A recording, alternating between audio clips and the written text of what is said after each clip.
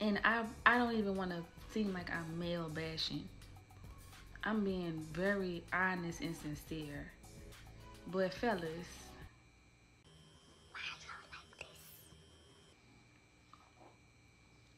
are you ever going to reach the point to where you say enough is enough?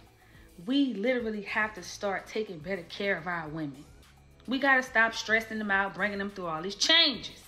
Is a shift in the mindset ever going to take place?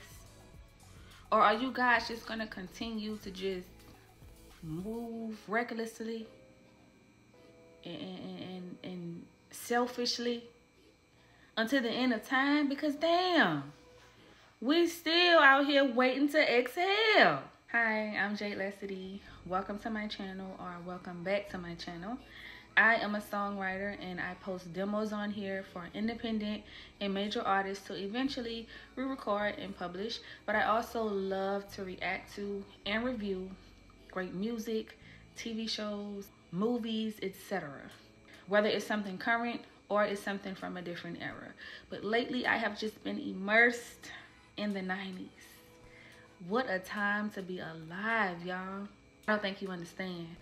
So today I'm going to be basically just giving my commentary on Waiting to Exhale, which has my baby in it, Whitney Houston. Along with Angela Bassett, Lela Rochon, and Loretta Devine, who are all as equally as amazing and talented. And shout out to Terry McMillan for not only writing such a great book, but also bringing this film to life. I mean, during this time, y'all, to have this type of black representation, it was kind of unheard of. So the fact that we had these four beautiful black women being shown in a professional and classy light, it was everything. It's giving black excellence, okay? And also, I don't know if you guys knew this, but before Whitney Houston passed away, they were actually in the works to doing a sequel y'all can you imagine how that sequel would have been? But because the other ladies felt like the original cast was just so magical they all declined to do the movie because whitney wouldn't be able to play the role of savannah. It's the unity for me. But anywho we're gonna get into the clip. It was when um they gave gloria a party and they were just talking about men and their experiences with them and this scene just stuck out to me because when I rewatched this as an adult, probably about a year ago, it kind of saddened me a little bit because I was like, damn, this movie came out in 1995. It's almost 2025, but I can literally have the same conversation with a group of women today about, you know, men's behavior. Before I get too deep into it, I'm just gonna go ahead and start playing the clip. I'm sick of this shit now. Wait a minute. The one man I love is married with a kid. And there's my life in one little sad nutshell. Mm. Men do leave their wives. At least he told you he was married. Yeah, but see, I'm not your average 24-year-old girl who's willing to wait around and count the days. Mm. I'm 33 years old. Ooh, good. And I still look good. I still look good. You feel Not them, not them laughing at her having to repeat herself. You look good, girl. Giselle, fly diva. Mm-hmm. Freak. Mama. Hoochie coochie diva. No. All oh, y'all know that. Yeah. Savannah, you know you look good. Yeah. You look good. Whatever happened to the good old days? Oh.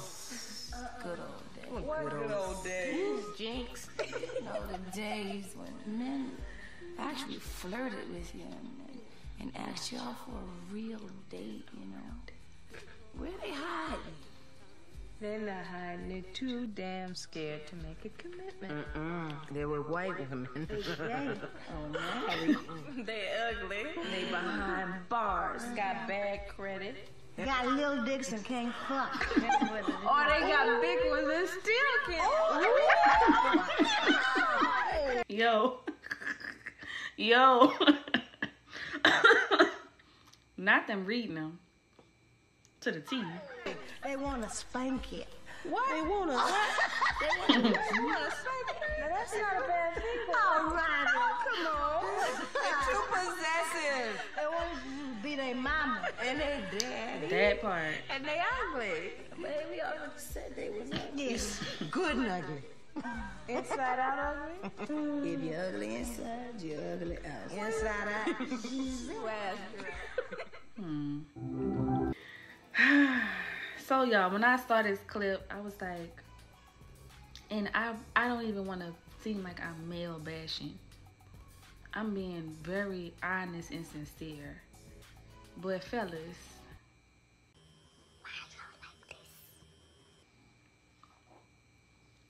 are you ever gonna reach the point to where you say, enough is enough? We literally have to start taking better care of our women. We gotta stop stressing them out, bringing them through all these changes. Is a shift in the mindset ever gonna take place? Or are you guys just gonna continue to just move recklessly and, and, and, and selfishly until the end of time? Because damn, we still out here waiting to exhale. Well, let, you know what? Let me speak for myself. I'm still waiting to exhale. And I know I'm not perfect by any means. But a lot of the stuff that they're describing is not how I move. It's not something that I'm going to do. So, yes, I'm flawed, but I'm just certain things I'm not going to do to someone who I say I love, who I have love for. And I'm nervous. I'm nervous for my daughter. I'm nervous for my niece. Really, I'm I'm just nervous for us all. Current and future generations of women because it does not seem like it's getting better, y'all. Oh my god. And I I, I just I honestly I don't know. Can y'all drop down in the comments and I'm really talking to my fellas. What needs to be done in order for there to be a paradigm shift? I, I just I don't know. And I hate to be this person, but you know how Kevin Samuels used to always say, You're gonna die, alone. but a lot of us, it seems like that's the only option that we have.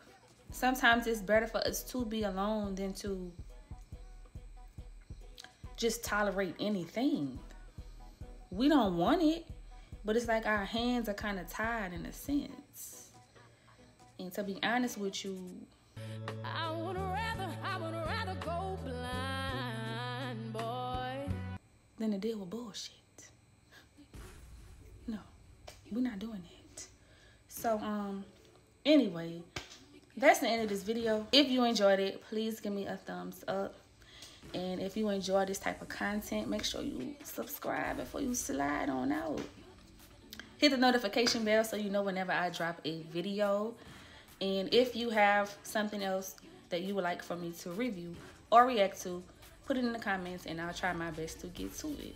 But other than that, I hope you have a great rest of the day. Be blessed. And I'll see you later. Bye.